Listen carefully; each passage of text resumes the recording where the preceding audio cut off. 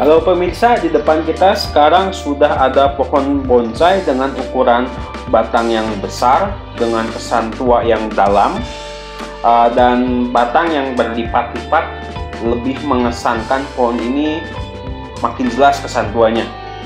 Ini kalau nggak salah adalah jenis pohon kimeng atau Ficus microcarpa. Seenggaknya saya yakin ini jenis Ficus. Kalaupun jenisnya uh, salah gitu ya, bukan kimeng, mohon dikoreksi. Tapi kalau kita lihat dari karakter batang, uh, kayaknya ini Ficus kimeng gitu ya.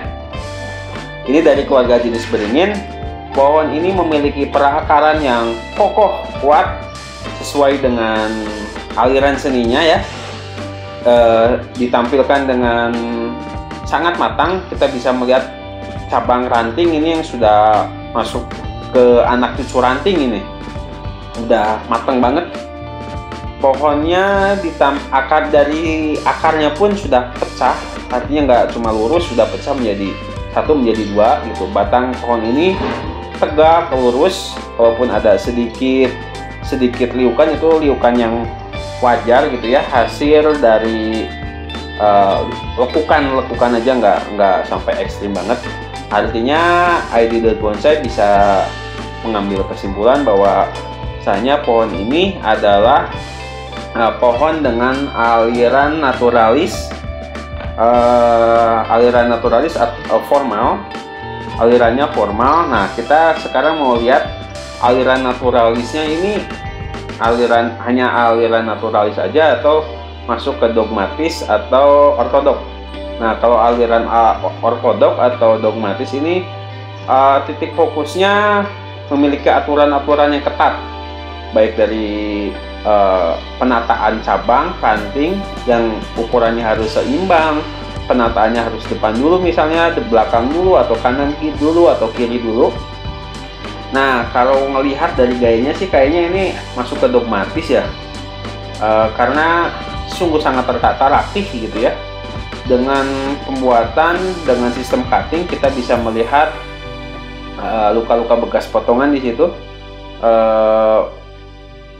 yang mengesankan makin alami gitu.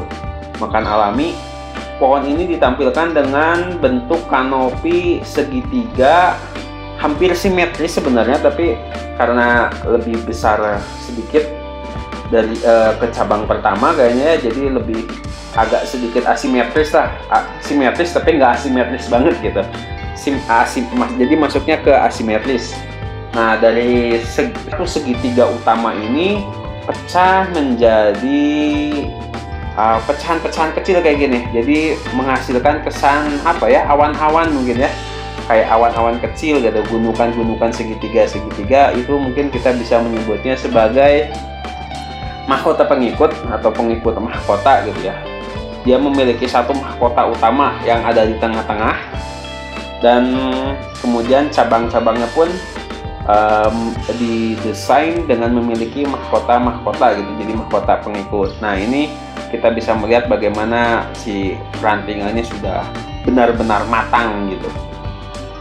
Ini proses trainingnya waduh kayaknya ini menghabiskan waktu puluhan tahun nih ya paling cepat mungkin belasan tahun mungkin paling cepat jadi ini setelah memasuki masa training yang panjang ditampilkan dengan sangat indah di pameran bonsai Bandung. Ini nggak sedang ikut kontes ya hanya ikut pameran karena mungkin ini kelasnya sudah luar biasa.